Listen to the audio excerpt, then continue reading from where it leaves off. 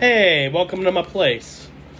So, I got a taco here. The bottom got destroyed somehow, but oh well.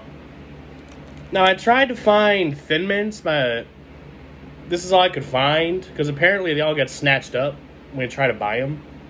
So, this is like a dark chocolate mint flavored like bar. So, I'm gonna take it, put it in the taco. There it is. And I'm just gonna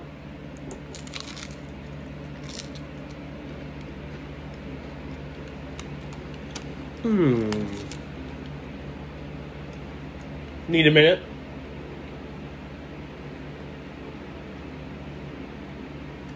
It's very conflicting.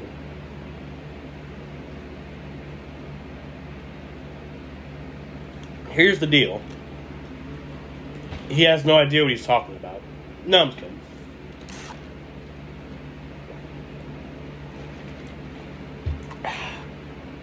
Here's the deal. The flavors didn't really mix, they sort of came in waves.